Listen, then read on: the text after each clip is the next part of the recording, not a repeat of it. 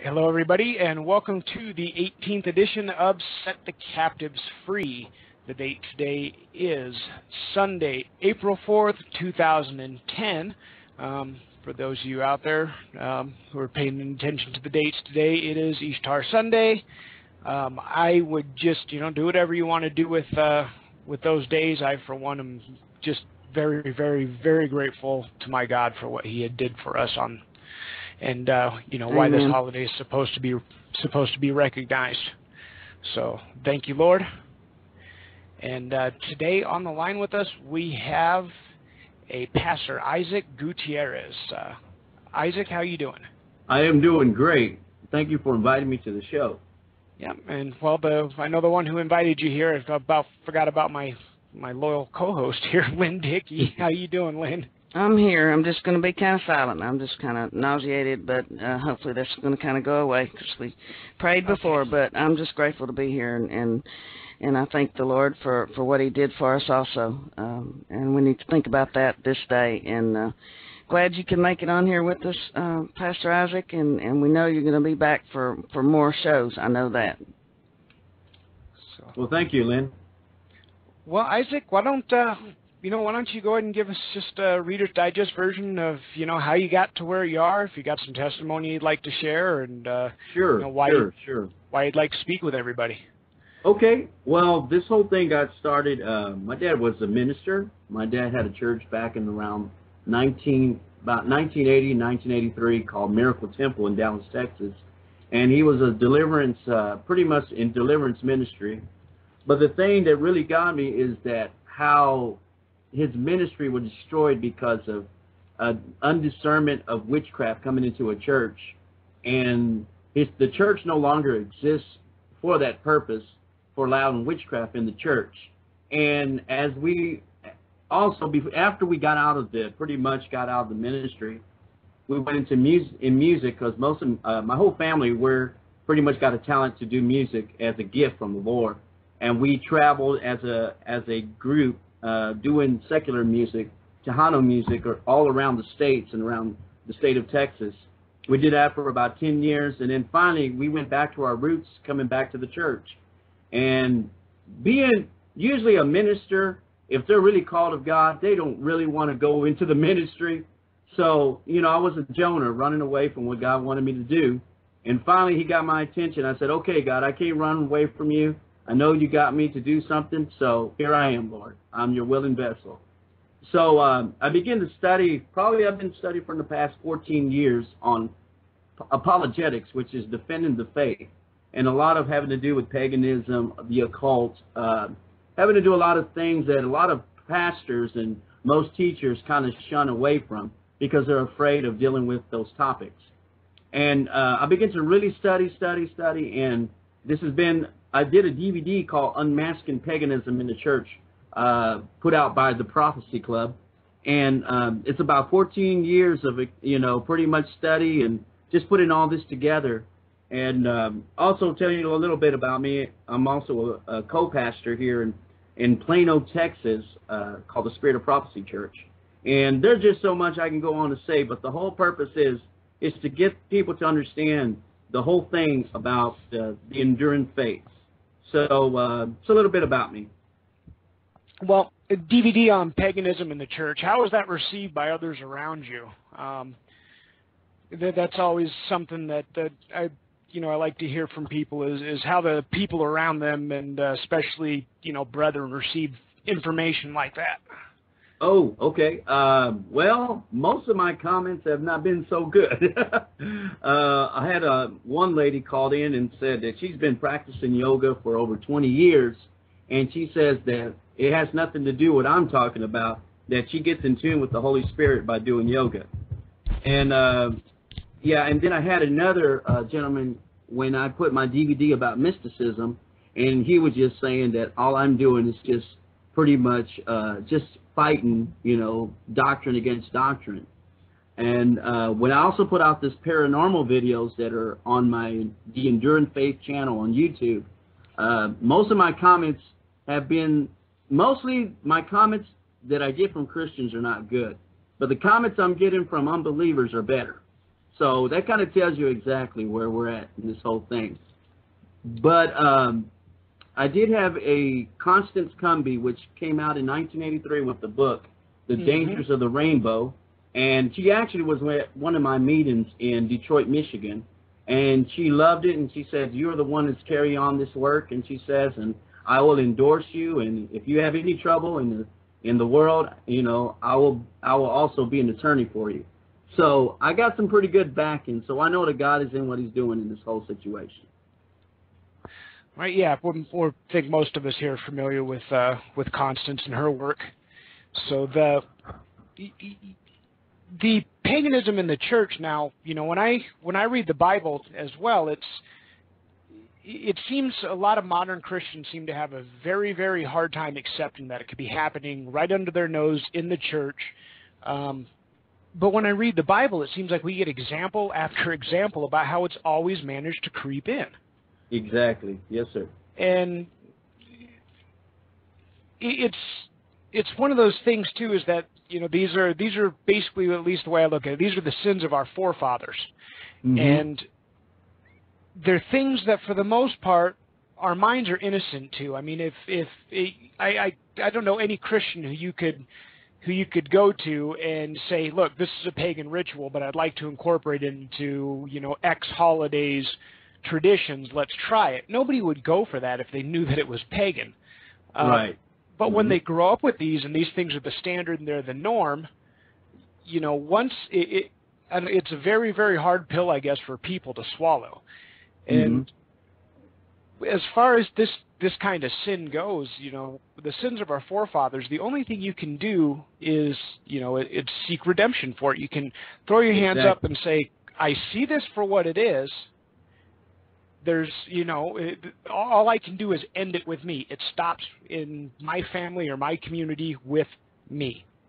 Mhm. Um, for me personally, that that really wasn't too difficult of a thing to do.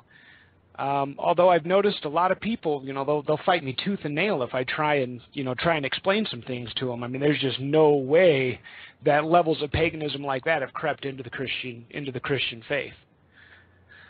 Um, I guess today being Easter would be a perfect example. Exactly, exactly. There's just so many traditions and so many things that people kind of mix. What it is, it's a lot of mixture going on. Uh, trying to mix things that are God and things that are not, and trying to make that a holiday. But my whole DVD wasn't mostly talking about holidays. It was mostly talking more about practices, and mainly a lot of having to do with nature worship, which is actually which is a, a part of paganism. Paganism is a religion of nature. In other words, pagans rev- revere nature. They see it as divine, as the immanent or the whole of life and the universe, according to w according to pagan.com. So paganism comes in all forms and sizes, and um, I think a lot of having to do with this whole green movement that the church is going to, not realizing that that is a form of paganism. So when I'm talking about paganism, I'm not just talking about uh, having to do with holidays or anything. I'm talking about things like contemplative prayer, yoga, um, universalism, all these things that are just bringing the church closer and closer to a one world religion. that universalism, you know, that's a that's a term that that seems to have kind of calmed down. I, at least in the from my perspective, it seemed like it was uh, gaining some ground. People were starting to get uh, you know turned on to the idea of what universalism actually was, and then it seems to kind of faded out. Um, maybe as a reminder, you can let people know what universalism is. Sure, sure, sure. Uh, universalism is a belief that um, any God that you serve is okay, as long as you don't hold on to the to the one true God, which we believe is Jesus Christ. Uh, what what it is is a lot of interfaith going on, where we have Hinduism, Buddhism, Islam, world religions, and a lot of mysticism, and also I don't know if you ever seen this the bumper sticker that's really really popular. It's coexist. Yes. Yes, that's uh that's pretty much what we're trying to synchronize all these religions as one. And it's what we call the Zeitgeist, the spirit of the age. Uh, in other words, there's a contempt and hatred for God especially right now, and that is a spirit of Antichrist. Anything that is against Jesus is a spirit of Antichrist. It's not necessarily the Antichrist, but a spirit of Antichrist. And I think that the true believers of Jesus Christ are the ones that are being targeted. And if you would notice, it, you would, it would seem that atheism is really coming up strong in our nation. And Christianity is kind of taking a back seat. We're not really defending the faith like we should. And um, like I said, we got advertisement campaigns, bumper stickers. Uh, we're trying to blend Christianity with a lot of mysticism. But is there really a agenda behind this? And I believe that there is.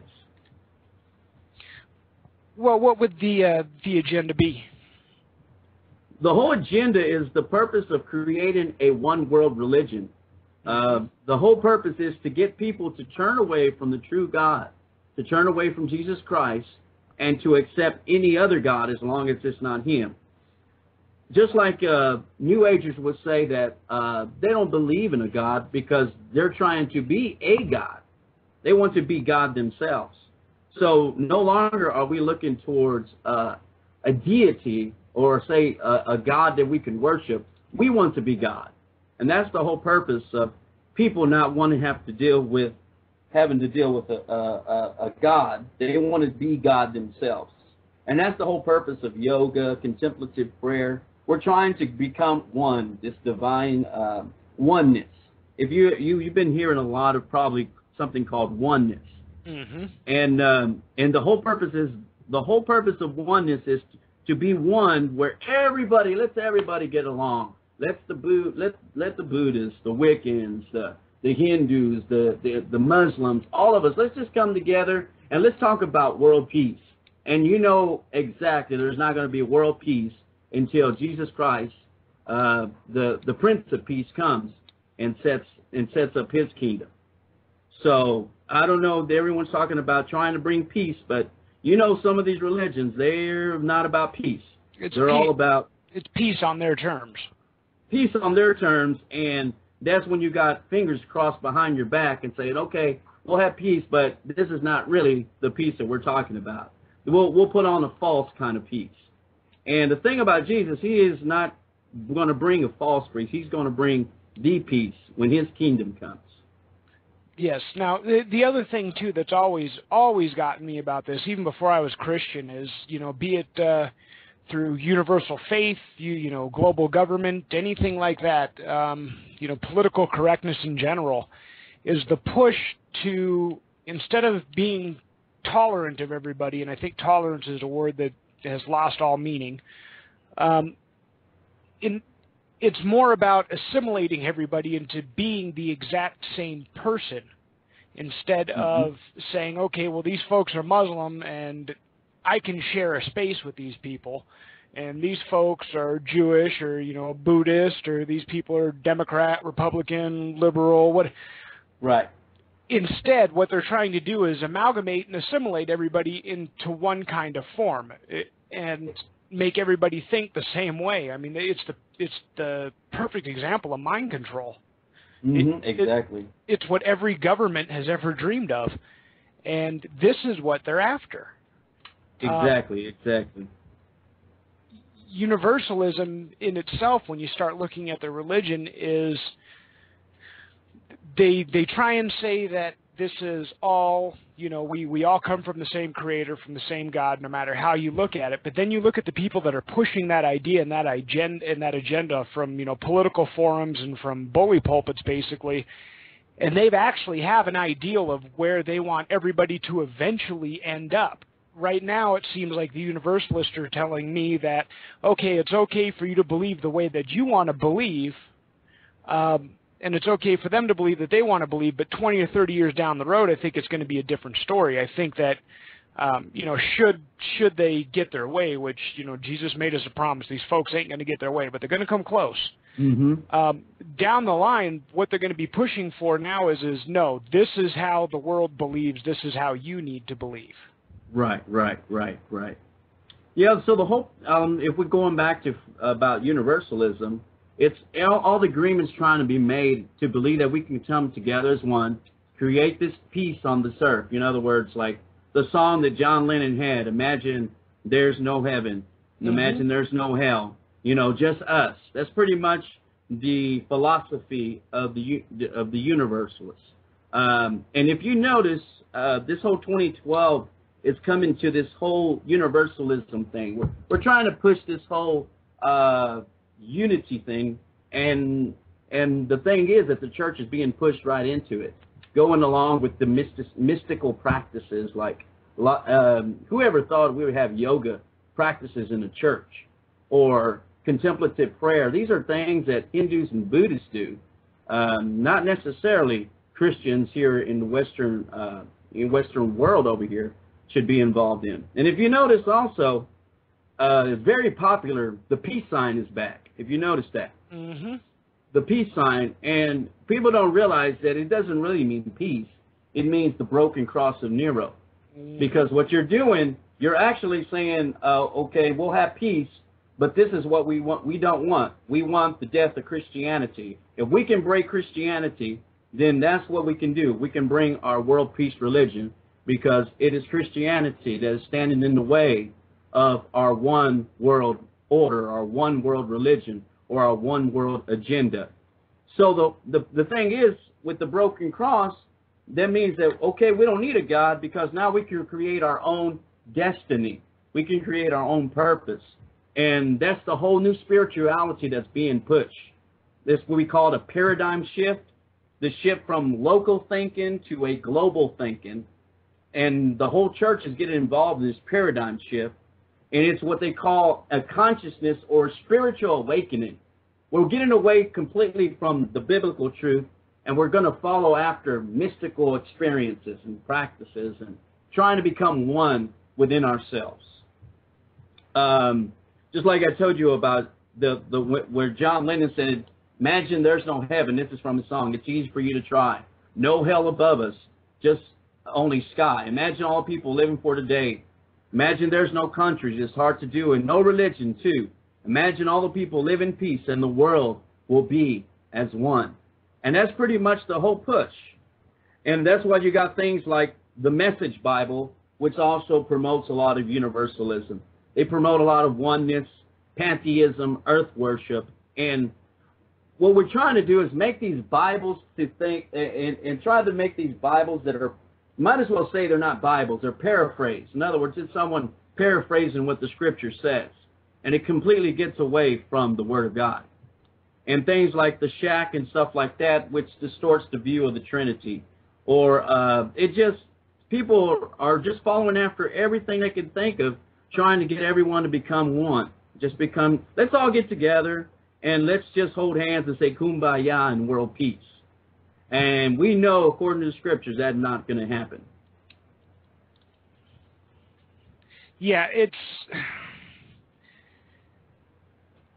I I I don't know. Like I, you know, I'm I'm the first person who would want world peace. So, you know, again, I don't know anybody out there who wouldn't want world peace. But it's like exactly. you said, from the scriptures, we know that it's not going to happen. It's just like a mm-hmm. global government. I've got no problem with the global government, but not the one they're trying to give us. Right. It, it wouldn't work in a million years. You know, uh, G- Jesus Christ or no Jesus Christ, the form of government they're trying to bring wouldn't work. The the form of religion they're trying to bring would not work. Exactly. Um, mm-hmm. Um, but again, when it it just we have this promise we we it, it's not even something that we can fall back on. We have a promise that we can live on. It's a foundation, and we know that as Christians, there's really nothing to fear. There's nothing to worry about. It's it's taken care That's of. Right. That's right. It's all in His hands. Mm-hmm. mm-hmm. And um, I, I think the whole purpose is that people are just following after anything that comes along that they think it's new, not realizing there's nothing new under the sun. You know, there's nothing new under the sun. It's just like cycles that happen. The whole thing with the children of Israel, the, they just went through a cycle all the time. Mm-hmm. God would bless them, then they would rebel, and they would start following after pagan ways. Then uh, they would go into slavery, and and then God, they would cry out to the Lord, and He would deliver them the same thing that's happening in our country. We're I, doing the same thing. Yeah, I don't I don't want to try and limit the Bible or make it sound like it's less than what it is, but in many ways it's the same story being told over and over again. Is- Yes, it is. It is. It's just uh, every every time. It's just you know, the if you would just follow the ways of the Lord, you follow His commandments, and you follow His will, then things would go go right. But like in Deuteronomy, you know, if there was a lot of ble- blessings, but there was actually more curses, because if you follow the ways of the Lord, you be blessed. But if you rebel against it, then there's more curses that go along with it. hmm Um, well, uh, as far as you know, paganism's infiltration of the church, universalism. Um, when I don't, you know, I'm one of these people. This is one of the topics that when I speak with other Christians, I I just can't keep my mouth shut about this. Uh, exactly. Mhm. in fact, again, today, like Easter, I have an Easter dinner I have to be at with family, and I'm going to go and spend time with my family. Mhm. Um, but it's going to be very difficult for me in a in a few hours here that to to be able to keep my mouth shut because yes, sir. you know I, I I see the eggs, I you know the Mhm. Easter bunny, um, the ham, just just Yeah. every everything absolutely everything about easter you know I, I think in fact more so than christmas easter's uh almost completely pagan anymore Oh, pretty much, pretty much. And the the whole purpose of the resurrection of Jesus Christ has just taken a back seat. You know, it's all about the other things, and like you said, tradition begins to mingle with uh, with Christianity, and that's where you have paganism. It's like a mixture of all kinds of things just coming together, and it's a blending of things that are of God and things that are not of God. And it's just whoever, whatever's popular, whatsoever on the popularity, we call it, we jump on the bandwagon, whatever everyone's doing, as long as it doesn't offend anybody, as long as nobody gets hurt, as long as uh, nobody gets offended, you know. well That's the whole- again as long as nobody gets offended um it's it's great to see nobody at your table is offended but what about god And that's true. He's the one that we're mainly supposed to be uh, pleasing, and he's the one that's not very happy about what's going on. And um, and like you said, the whole the whole the whole purpose is uh, with pa- with paganism. It's a very very touchy subject because people say, "Oh, I'm you know, what is paganism?" Well, not only is paganism just having to do with practices, paganism is the worship of anything other than God Himself pretty much me, myself, and I. it's the worship of person the, the the creation instead of the creator Exactly. And the person, I mean, people look at themselves in the mirror every day, and you could be worshiping yourself. I mean, you say, well, pa- well, Pastor, I don't worship any idols or Buddhas or Hindus or, or, well, do you worship your job? Do you worship your money? Do you anything that is that is you put in front of God can become an idol, idolatry. And um, I think we get to the point to we don't realize what is of God and what is not because we have gotten so far away from the fine guidelines of the scriptures that we just accept anything that just comes along the way. Now, how, uh, you know, kind of back to to the point I was going to make is, for me, I I just I put it out all on the on the table when I try and tell people about this, and sometimes I think I I go into overload mode with them when I try and explain to them what they're doing with these holidays.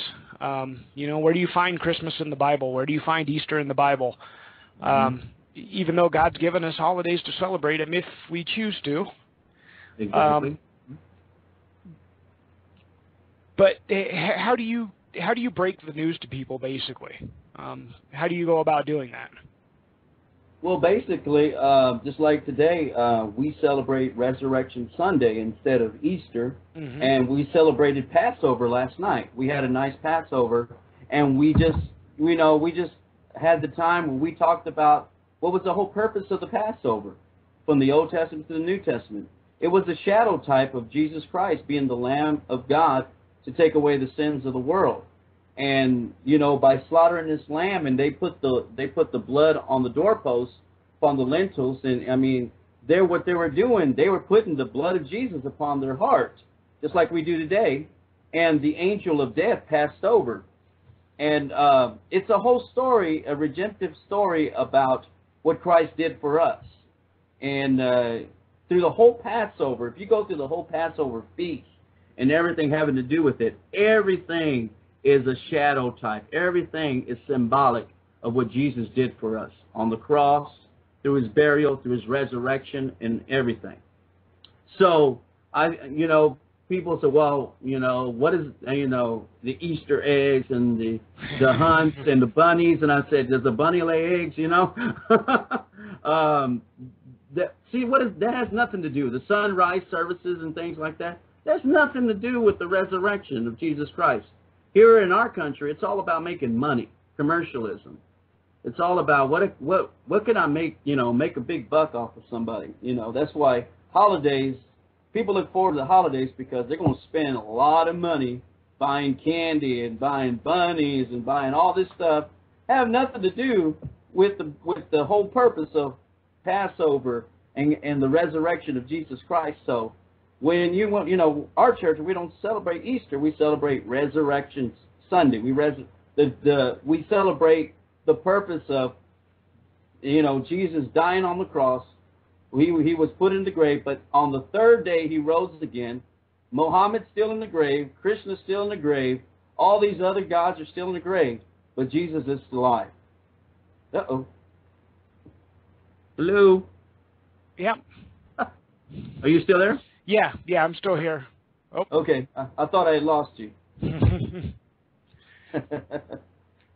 the the the other thing too though for me that that really gets me is is once I found out what all these pagan rituals actually were, what the rabbit was, what the eggs were, what the ham was, what who they represented, it's it's disgusting. Mm. It's just absolutely disgusting. I mean, we're we're talking about a, a fer, fertility goddess who transforms right. herself into a rabbit, a, an egg-laying rabbit. I mean, what mm-hmm. multiplies, even in Western culture nowadays, what multiplies faster than a rabbit? Mm. You know, the the eggs. Mm-hmm. Um, and I'm going to be very blunt with everybody here, but she wasn't just any fertility goddess. She was also very well known for a rather lewd form of sex that could also be practiced between males. Um, that th- this is who all these rituals are set up to, to honor, and yet people they you try and tell them this, and they just want to shrug it off and say, "Oh, God knows who it is that that that I mean this for." You know, he knows what my intention is. He knows my heart. Right. But if they, if that's what your heart is, then your heart, I think, would have enough concern for God to not do these things. Exactly. Exactly. Um, so. Mm-hmm. The the painting of the Easter eggs. Um, You're right. For anybody who doesn't know about that, that was back in the in the Tammuz caves when they would slaughter the, you know, they slaughter the babies um, that came from the virgins. They they would take the blood basically and they would paint the eggs. If you go to Vatican City today on Easter and you look at the Easter eggs painted by, you know, the the higher ups in the Catholic Church, they are painted one color and one color alone. That is blood red, and that's the reason for it. Right, right, right.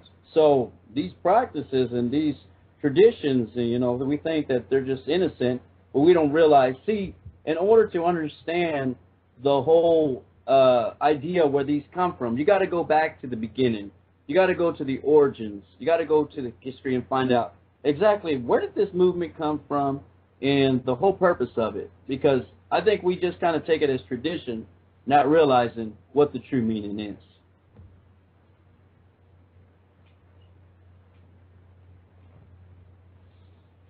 So um, continuing here, um, anything you want to continue more about the universal? Well, one thing I really have a concern about is mm-hmm. uh, a lot of times I think Christians want to be popular and we want to Christianize everything. We want to Christianize like the secret. You know, we're trying to put out something, you know, not understanding the secret has nothing to do with the Bible.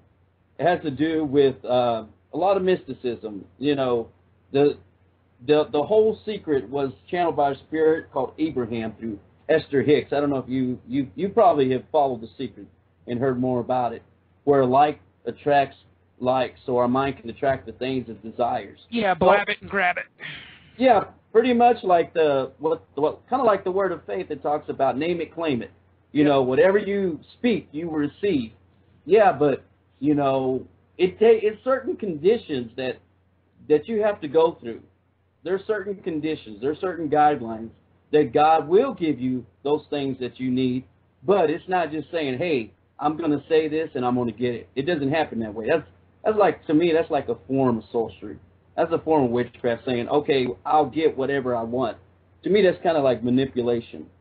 And the whole thing with the secret is the whole purpose is this: I am God. I can create anything I want because I am. I, I, there is no God, and I am a God.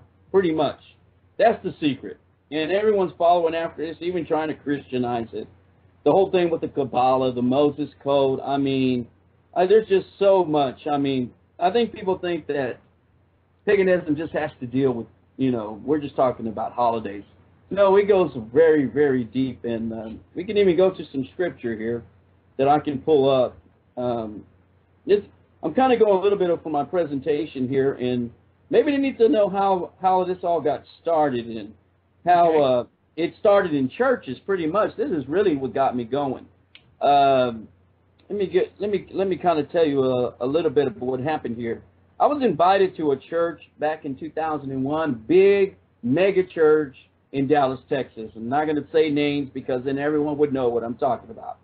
But uh, the whole purpose was they invited me to come and talk to the children about spiritual warfare and Pokemon cards and Harry Potter and things like that. So, I mean, the Spirit of God was moving mightily. The Holy Spirit was moving great. And, man, we had kids bringing up their books, electronic games, Pokemon cards, I mean, everything that they were they were carrying these in the church in the sanctuary. They threw them at the altar and said, "We want nothing to do with them. Get rid of them." And um, I mean, we probably picked up over a thousand dollars or more of just uh, of material, whether it was books, electronic games, uh, cards, toys, and Neopets, you name it. They had everything, and they saw that it was wrong, and they were. It was almost like the time where in Acts where the Apostle Paul was talking, and they were bringing up their witchcraft books, their dark art books, and they were throwing them and said, "We want nothing to do with them. Burn them." And they said, "This is this costs a lot of money." Well, it doesn't matter if if if if, if it's yeah. if it's not if it's if it's those you know the things that are not of God, then we want nothing to do with them. See, the kids were okay with it, but the parents weren't. well, they blew all that money on it. Oh man, oh man, I, I really got, I really got, you know, I really got the, you know, pretty much excolded by the church leadership. And what happened is I began to receive calls telling me that the parents weren't very happy of what happened. And uh, they saw nothing wrong with the kids reading Harry Potter books as long as it keeps them occupied and it keeps them reading.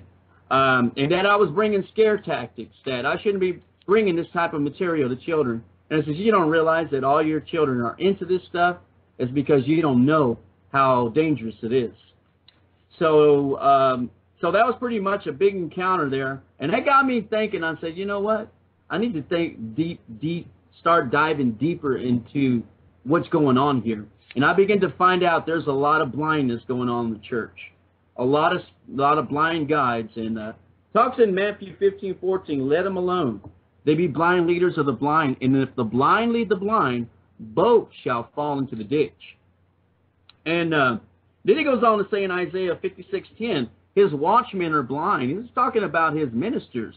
He's talking about the people that are supposed to be the ones that are supposed to be looking out for the congregation. Says they are ignorant. They are they are all dumb dogs. They cannot bark, sleeping, lying down, and loving to slumber. Yea, they are greedy dogs, which can never have enough. Doesn't it sound like our churches today, it's all about the numbers. How big can I get my church? How many members can I get there? I'm not worried about your soul. I'm just worried about what is it in for me. And they are shepherds that cannot understand. They all look to their own way, everyone for his own gain and from his quarter. But I believe that God is raising up true watchmen that are not afraid to stand up and speak the truth, no matter the opposition, no matter what the what the people bring against them. And just like in Ezekiel's time, in Ezekiel 3:17 it says, "Son of man, I made thee a watchman unto the house of Israel. Therefore, hear the word of my mouth, and give them warning from me. When I say unto the wicked, Thou shalt surely die, and thou givest him not warning, nor speakest to warn the wicked from his wicked way, to save his life, the same wicked man shall die in his iniquity. But his blood will I require at thine hand. You know what? I don't want the blood on my hand. So when God gives me a word to bring to the church, and He's He's going to bless me and move me towards that, then I don't want to be the one that has blood on my hands. I want to be the one that that that speaks the truth. And if they don't hear me, you know, then you know I did my job. I did what what I was supposed to do. And I think that's the whole purpose of this whole broadcast here. This whole uh, this whole program is to give people the truth. You know, setting the captives free. Uh, there's a lot of people that are in bondage. A lot of people that need to be set free. And the, what does the Bible say? You shall know the truth, and the truth shall make you free. And uh, that's what I think. A lot of people need to be freed from a lot of deception.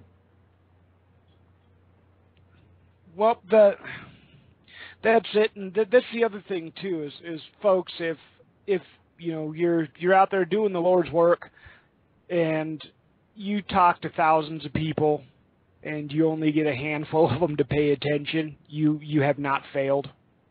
I, I see a lot of people who just end up absolutely heartbroken because you know the the Lord sends them out there on their mission, and and they they they you know they put everything that they have into it and unfortunately people just are not willing to listen. But it's not about you getting the masses to to to hear what you have to say. It's about the few people who are willing to stray away from the mass. And it's you know never just never give up on on the work that we're set forth to do. Amen. Amen. And I believe that everyone that is doing what they can to get the word out don't realize that your work is not in vain because we're not looking for an an earthly type of uh, we're we're not looking towards earthly gain. We're looking to our heavenly treasure. It says whatever your where your heart is, that's where your treasure is going to be. So um, I would encourage the people that don't give up. You know this. You know some of the the things that we have to say are needed, and I believe there's going to come a time when people will begin to start listening and uh, that does you know it's it's a difficult word for some people to take because right now we're at a time where truth is really blurred. And uh, people will accept anything but understand that truth will bring deliverance. Um, so we got to keep on that straight and narrow way. And like i was saying a lot of things we look at things and we think that they're really good but are they really good or are they really dangerous to our souls because it just takes a little leaven, a little bit of sin to leaven the lump. In other words, it just takes a little bit. 1% falseness can destroy the whole doctrine. What, just a little bit. It just takes a little bit to destroy uh, and, and make the truth into a lie. That's well, that's it, and that's uh, you know, again, a little leaven leaveneth up the whole lump. And what they do is the, to draw the people in and to get them to follow and to believe the you know basically the whole system, the beast that we're that we're faced with and that we deal with every day. They mix just a tiny little bit of truth. You know, we see it in the 2012 movement. Um, they take exactly. they take just a couple of little facts or a couple little things that they found about uh, you know whatever the Mayans had to say hundreds of years ago, and then boom, they just they absolutely run with it and exactly. Uh-huh. I know people you say you bring up 2012 and they're either scared for their life or they're giddy like a little schoolgirl waiting for the big transition period. And these are people who have no spirituality, no faith, no nothing, but they got cable television and all of a sudden they think something's coming in 2012. Exactly, exactly. Um, I think the whole thing is there, there's just so many beliefs and theories. I mean, it's just confused. It's a lot of mass confusion. I mean, and then the Christians. The problem is that I that that I have is when Christians are trying to pull up the Mayans, trying to make all these different prophecies all try to match up with the Word of God, which is not going to happen. I no. mean, 2012 is going to come, it's going to go. Of course, it's going to start. There's going to be some changes coming. Of course, as we're getting further and further away from biblical Christianity, and that's the whole purpose uh, to bring us more into, like you said, this oneness, this whole universal uh, thought of that. You know, we don't need a God; we can become God ourselves. And um, the the you know just just uh, I think also I'm also putting out a a documentary. It's called 2012, uh, The Hidden Agenda. And I just decided, you know what, I'm just going to go and find out all this information and man, if you don't really have great discernment, you can get really confused in what's going on out there. Uh, it's just a bunch of mumbo jumbo, pretty much, you know. And um, and then when you know when Christians are trying to place that, you know, with the timing of the rapture, when you know all these times that hasn't happened yet, you know, it just brings people to look at the church as a bunch of you know crazy people you know, y'all been saying this is going to happen, that's going to happen. Now you're going to say 2012. So what, you know, where's the credibility? Because we're not following after the Word of God. We're following after other man's beliefs, other man's theories. Nostradamus, you know. Know, how did he get his predictions? Through scrying. Scrying was a form of divination, you know, looking into a water pot and trying to see the future. Or all these different, the Mayans and all this, and they didn't believe in God. They believed in, you know, they they worshiped and did human sacrifices, you know, and um, we're trying to follow after some advanced civilization when that civilization no longer exists. Why does that civilization no longer exist? There has to be a reason for it. The the Mayan civilization, I mean, when you really break it down and you look at, at what their faith consisted of, it was like nothing new under the sun. It was the same old Babylonian style sun worship. Exactly. Mm-hmm. Uh, different, you know, same game, different faces. That's right. That's right. And like I said, paganism doesn't really change. It just it just goes through a phase, and all it is is you know, you're worshiping something other than God, pretty much. Uh, whether it's the sun, whether it's the moon, uh, whether it's idols, whether it's uh, practices that get you in tune through meditation, contemplative prayer, soaking prayer. I mean, people have kits try to do all these things, you know, like a labyrinth kit, you know, all every there's always a new there's always trying to be a new way trying to follow after this follow after experiences instead of relationship. That's mostly where I see the church right now. We're looking for mystical experiences and moving further away from that relationship with Jesus Christ. Yeah, the you know to to there is a lot of and I'm not I'm not going to lie. There's a lot of very interesting stuff out there to go and look at when it comes to the Mayan calendar and all that. It, it, it's interesting, but it'll suck you in. And mm-hmm. the danger in, like you said, trying to bring it back and relate it to the Bible, you have to create lies and go down different, so many different rabbit holes just to even begin to find some semblance of it working. Um, it, it's just not going to happen. Now, I, I personally don't believe in shutting myself off to the world and just exactly. closing mm-hmm. my eyes to everything else. But folks, you need to be really, really careful with this stuff. It's like when I first got into conspiracy theory. Um, this was, you know, bef- before I became a Christian, um, I was looking into a lot of occult-based things. Um, I'd gotten involved in a lot of it, um, but the whole point seemed to be trying to bring as many details about so many different different aspects of be it all these occult religions and the way government worked and all this stuff and trying to mold it into one piece that just when I thought that I had it all figured out something new would form out of that. And it just keeps you running after stuff and you, it, there's no end in sight to it. You're never going to figure it out. Exactly. It's just trying to uh just one you know one book after another one philosophy after another one theory after another and this leads you down a a, a, dead end road. It leads you down a, a dead end, and uh, people are looking for answers, but they don't want to go to the one the thing that has the answers, which is God's word. You know, prophecy. God God put prophecy in there for a reason. He foretells the future. I mean, he he he put prophecy in there for a reason to show that he is God, and that when he prophesies something and he promises that it's going to come to pass Uh, all these other, all these, uh, and the thing is, there's been 300 predictions that the world is going to end, and it still hasn't come. So, I mean, I think we're looking toward the wrong people when we need to look to God's word because He tells you specifically what's going to happen, how this is all going to be laid out, and that there's going to be many people coming and saying that there's Christ or here he, here he, here he comes or here's the new thing. Follow after that every wind of doctrine, you know. But like he says, it says his doctrines, it seduces spirits and doctrines of devils. It said in the last days, man will be seduced, and they would key teachers have an having itching ears, and they will be seduced by these evil spirits and doctrines of just a lot of doctrines of men. And um, just a quick thing, um, I'm actually doing a documentary on this whole 2012 thing, bringing a biblical perspective from it. Um and uh, if you want to find out more, you can go to the Enduring Faith channel on YouTube to find out more about this documentary. It's going to be released in the summertime.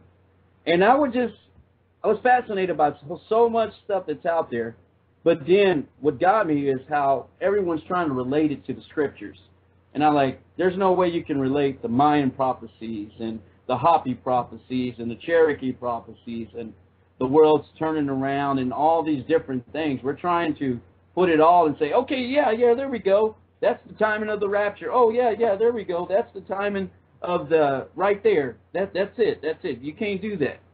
Um, because a lot of these times, these people get their information through divination, whether it be scrying, whether it be astrology, whether it be uh, studying the pyramids, studying UFOs and the paranormal. That's all it is. It's a lot of paranormal activity that's happening here in our country.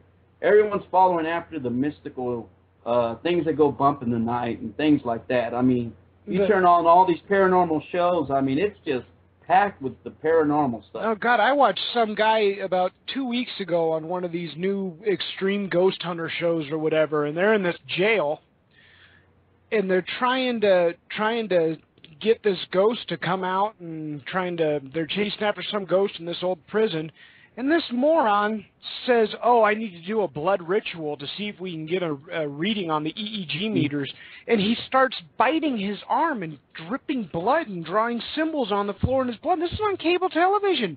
Yes, I know what you're talking about. You're talking about extreme, the extreme paranormal, or something like that. I couldn't Um, believe it. You know what? It's people are just so consumed about the supernatural, the paranormal, that they're going to do whatever to conjure up. You're going to, or like they say, we're chasing evil spirits, and we're going to molest these evil spirits and see if they come out. So uh, This this is all so they can maybe hear a ghost fart on a video recorder. that's crazy. I mean, you know, mm, it, it just it it it doesn't. Uh, I you know again these people they just want something real and tangible right? and yeah. And as far Yeah. as trying to relate everything back to Christianity, um, and back to the Bible, there is stuff that you can relate back to the Bible. The problem is the stuff that relates isn't what the people want it to be. No, they don't. Um, if you want to know how the, the little g gods function, read the Bible, and it'll Mhm. show you. And it, the way that they've worked throughout history past, read the Bible. It'll show you, and it's no different. The the system, the the only difference between the systems of control then and the systems of control now, is technology. That's right. It, it's it's the, the the same person at the wheel. It's all Lucifer. It's all his. Exactly, exactly. You're right, Mario. and they've they've they've set this system up. You, when you've got six thousand years to make something work, hmm they've managed to do a pretty good job of it. It is, excuse me, it is an all-encompassing deception. Be it from the indoctrination in the schools to the way that the governments are run, to the wars, to the fiat money systems, just the, the, the spirituality, everything. It is his. You know, when when Christ was being tempted by Satan in the desert, and Satan offered him all the kingdoms of the world, he wasn't playing around. They were his to offer. That's right. That's right. But he didn't succumb to Satan, did he? No, he did not. He knew who he was. He was the son of. He was he was God in the flesh. Mm-hmm. So, you know, the devil thought he could, could he could tempt him, and no, no sirree, it didn't the- work. And the devil was a fool for trying to tempt him, but he was not a fool with what he was offering. Yep, you're right. hmm Well, speaking about that whole, you know, we know that the paranormal and this whole ghost hunting and all that, but uh, God really wanted me to sit down and He wanted me to start something new, because uh, the thing about it, a lot of times people won't sit down and just hear a sermon or just listen to something. People want to see a visual image. They they want to see a film. They want to see a documentary, something that's moving, fast paced. So, uh, you know, I prayed about it, and the Lord led me to make a uh, a documentary called Spellbound by the Paranormal. And if you want more information, you can go to my uh, YouTube channel. Let me see if I can get the address here. Okay. Um, also, also, we'll uh, we'll try to remember to make sure we get links to all of this uh, on our page as well when they for people who download the show. Okay, excellent, excellent. But uh, just just trying to go back, I mean, I just explained to you all this craziness that's going on with vampires, werewolves, UFOs. I mean, it's just a mess because people are looking after something out of the ordinary. That's why they call it the paranormal, something that's beyond the normal. Uh, Mhm. but instead, uh, we're looking towards uh, the occult, Ouija boards and stuff like that. We're trying to conjure up something that uh, we want to see these, you know, we want to see power. The whole purpose of following after magic and mysticism is people want to see power. That's why they kids are after the Harry Potter and the whole all all these new things that are coming out. Um, vampires, werewolves. I mean, people just want something that is forbidden, which the scriptures say, but they think that uh, that's something that they can kind of Christianize. You know, how do you Christianize a vampire? how do you Christianize werewolves? How do you Christianize ghosts and all these things? When the Word of God calls them familiar spirits, and He calls them uh, doctrines of devil. I mean, it's you know, there's no way we can try to turn something into something that it's not. The the thing is, is familiar spirits. That word's always kind of gotten to me as well. As they turn themselves into something. These are spirits that turn themselves into something familiar to the person viewing them. Mhm. It's something that you will understand and comprehend. Um, that's why when we get into the UFOs, I don't think we're dealing with anything that we haven't dealt with before, be it vampires, werewolves, fairies, gnomes, leprechauns, you name it. It's a different face for the different age, but it's the same thing it's always been. If even if you get into a lot of the UFO reportings uh, if, from some of the secular guys like Jacques Vallée, um, Mhm. he's flat out come out and said, you know, I'm I'm not a Christian, but one thing I'll tell you is that these that these aliens are probably what we have been calling demons in, a, in generations past, and that they seem to tailor fit experiences and sightings and abductions and the way they present themselves to the people so that they have a maximum effectiveness Mhm. when people see them. They're effective and efficient, which is another calling card of Satan. Exactly. He's always going to try to make uh, everything look like uh, a lot better. You know, says, well, if you follow my ways, I'll give you the power. I'll give you, I'll give you, like you said, he's, he gave, he said, Jesus, I'll give you the kingdoms of the world. They belong to me. I'll give you all this power, riches, but all you got to do is sell yourself to me. You know, a mm-hmm. lot of people that sell themselves to the devil because they think they're going to gain power and authority when all this when all he's doing is coming to collect. He's a bone collector. He comes to collect. After a while, he, you know, when you when you pretty much put your your name on the dotted line, you become his. But that doesn't mean you can't be take. You know that that that can be broken to the power of Jesus Christ. He can pull you out of that occult. He can pull you out of the whole paranormal uh, obsession, you know, following after psychics and mediums and things like that. And a lot of the time, these people that are psychics and mediums, just because they got disillusioned with the church because they don't see no power and authority because we don't use it. You know, we don't see the signs and the wonders and the miracles and the healings. They're still happening. It's just that people uh, have decided, you know, well, that stuff doesn't happen no more. Miracles don't happen. You know, healings don't happen. That was back there, you know, during the time of the disciples. That doesn't happen no more. Oh, yes, it does. You know, the Holy Spirit still moves. He's still in the miracle working business. It's just that uh, a lot of churches have, have moved away from that. And I think it's time we get back to that, to start seeing where the people say there is power in the name of Jesus.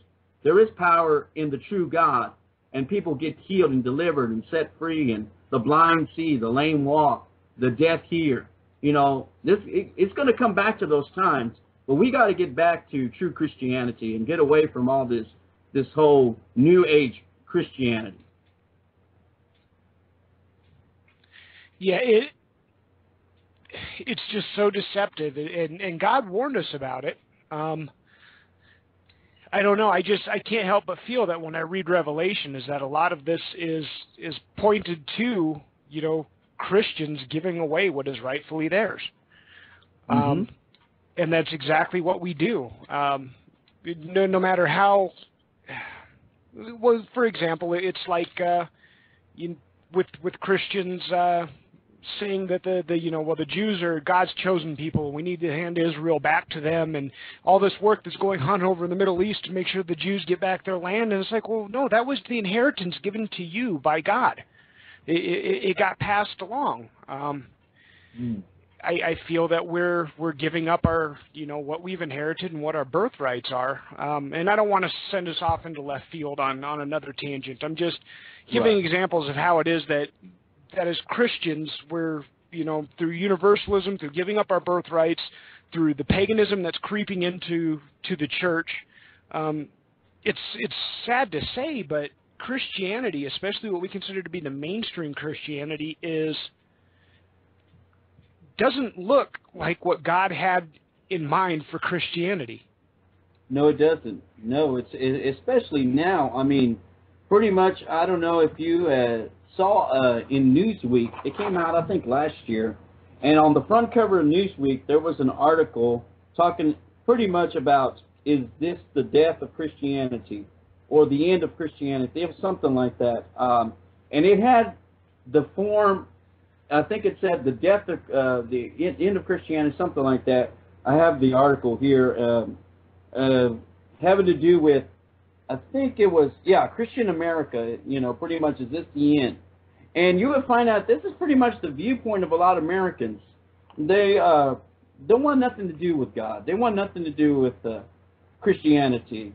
They see it as a crutch. They see it as a religion of of being forced to do this and that. But this is what made this country great is being birthed on the the the word of God, having the the the, the principles of the Bible, and we trying to do away with that. Yeah, I mean, you know, we're trying to do away with that, and the further we get away from that, further we go into anarchy, further we go into nihilism, further we go into uh, pretty much a a we're bringing destruction to ourselves, not really not realizing what we know is good for us.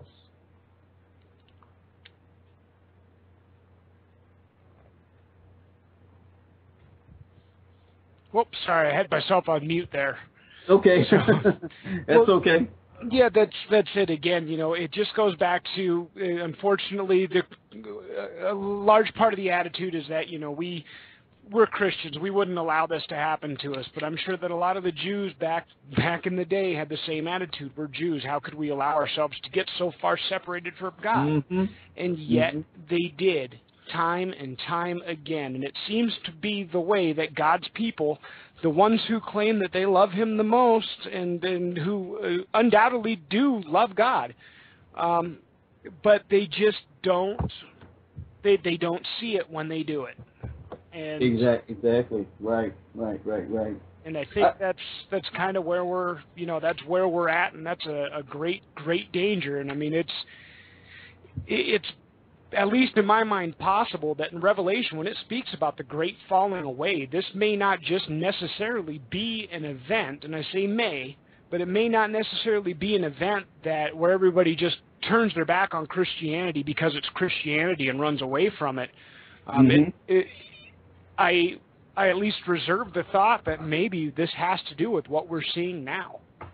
I believe so. I believe so. It's uh, usually things don't happen right away. I think there's always gradual steps to get into where we're headed.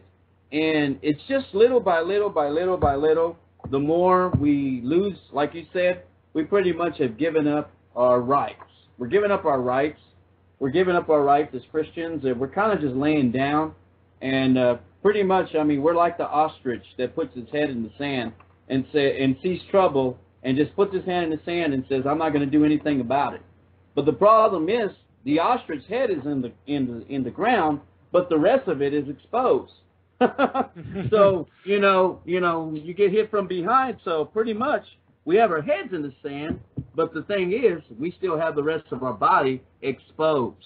So by having our body exposed, then we're hit with every target. Um, and more and more, I mean, pretty much people that if you say you're a Christian, I mean, you're pretty much you're hated. The Bible says that. What did Jesus say? And uh, you, you're going to be persecuted for my name's sake. You're going to be hated for my name's sake. So, I think when Christians become a Christian, they think that when they become a Christian, they're going to come and oh yeah, God is just going to be this. You know, it's all going to be all you know nice and rosy and uh, just tiptoe into the tulips and everything. But they don't realize that when you get you become a Christian, you just join the army of the Lord, and it becomes a battle. It's a fight every day, and you have to contend for the faith. You have to continue to fight because Satan is after one thing. He's after the souls of men, and he wants to take your soul, and he's going to do everything and pull everything in his arsenal to be able to bring you down. But uh, like you said, I mean, I mean, I'm just speaking forth the truth, and whoever hears, praise the Lord. And I know I've gotten a lot of opposition to a lot of the things I talk about because it's just it's just so much happening in the church. And instead of looking into these things, we kind of just say, well, there's no harm in it. We won't worry about it as long as it pleases the people. But we're pleasing the people, but we're not pleasing God. He's not happy about it. Well, you know, you've got you've got uh, you know kindred spirits here with you, and and and Isaac, you know, we would. I hate to have to cut you short here, but uh, I know we're running up on time. It's again Easter Sunday. Unfortunately, I've got a few places I've got to be. Okay. Uh, but I would I would love to have you back on sometime soon. Oh, great, great! I would love to be. Um, so you're welcome back anytime as well. If you've got anything that you just want to get, you know, if, if an idea comes into your mind and you need to get it out, man, you just let us know and we'll be more than happy to give you some airtime. Oh, great. I appreciate it. I thank you for the opportunity and, and Lynn and you, Mario, for allowing me to come on your show. And, and hopefully a lot of people will hear this and uh, they'll start, you know, looking at this material and start looking and say, you know what, maybe it's time I do my due diligence instead of just listening to somebody. I think they what happens is people just want to hear somebody and not do their own homework. You know, don't necessarily take everything someone says. Go back and do your own study. Go back and do your own looking up some of these things, and that way you know exactly if it's the truth or not.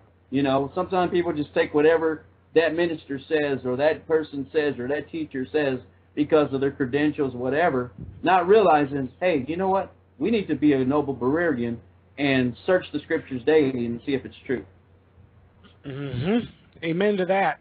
So, Sister Lynn, I don't know if she's still on the line with us or not. I know she was feeling under the weather, like she said. I'm right here, uh, Mario. I'm listening. Okay. Well, I'm just kind of, kind of sick. well, I'm hoping everybody out there listening will be praying for you to get better. Um, I, I certainly that. will. I appreciate that. I really do, and we'd like to have uh, Brother Isaac come back and and go into depth about some of these practices that the churches. This is kind of an introductory show, so maybe next time we can uh, go into depth about some of the stuff and how dangerous it is. I had a lot of questions for him, but I just, I just, I couldn't, I couldn't go there. You know, I wanted to talk about some stuff I've seen, um, gold dust and all this crazy stuff going on Mm. in the churches. You know, it's just pure witchcraft. It Mhm. is. Yes, ma'am. So, all right, folks. Well, again, it's Sunday, April 4th, 2010, and this has been Set the Captives Free with Pastor Isaac Gutierrez. God bless and have a good one. You too. Thank you, sir. God bless you. God bless you. Talk to you later.